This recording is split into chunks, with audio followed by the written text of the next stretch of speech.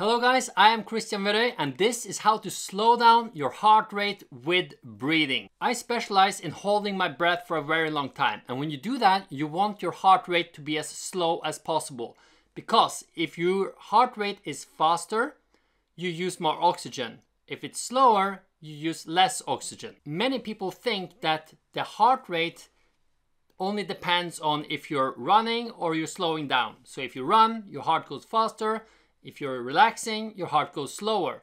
But you can also intentionally slow your heart down with breathing. When you breathe in, either through the nose or the mouth, your diaphragm goes down and your lungs expand. And when that happens, your heart grows a little bit bigger. So it actually has more physical space and it grows in that space. As a result, the blood that is in that bigger space moves a bit slower than it did in a smaller space. And there is a group of neurons in the heart that registers that the blood is going slower. It sends a signal up to the brain that again sends a signal back to the heart to speed the heart up. If you want your heart to beat faster, inhale longer and harder than you exhale. It doesn't matter if you breathe through the nose or mouth. If your inhales are longer than your exhales, you're speeding up your heart. This also happens if your inhales are shorter than your exhales, but more vigorous. Stronger inhales than exhales speeds up the heart. If you want to slow your heart down, you will do the opposite. When you breathe out, your lung compress, your diaphragm moves up, and your heart becomes smaller.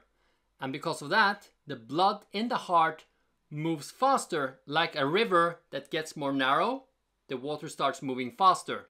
This sends a signal to the brain that the blood flow is faster, and this sends a signal back to the heart from the neurons in the brain that it should slow down. If you want to slow your heart down and calm down quickly, make your exhales harder and longer than your inhales. This is not something you have to practice or anything like that.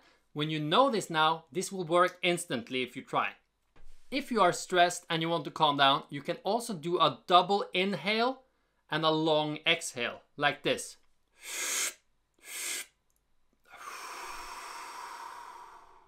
This is something we naturally do if we have been crying and try to calm down. This works because the small alveolus, the smallest sacs in the lungs, they tend to collapse when we get stressed. When that happens, you build up more CO2 in the bloodstream, which further stresses you and makes you more agitated. When you do a double inhale, we reinflate those, and the exhale is very effective to release the CO2 from our bloodstream, which again relaxes you quickly. This is the fastest and most effective way to calm down and slow your heart. If you want to learn more about this, there's a link to the Huberman podcast by Andrew Huberman who goes in depth on breathing and how this actually works. But just to recap, long inhale speeds your heart up. Long exhale slows your heart down. So speeds your heart up.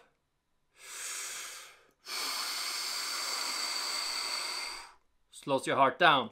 Hope you liked this video. Have a nice day.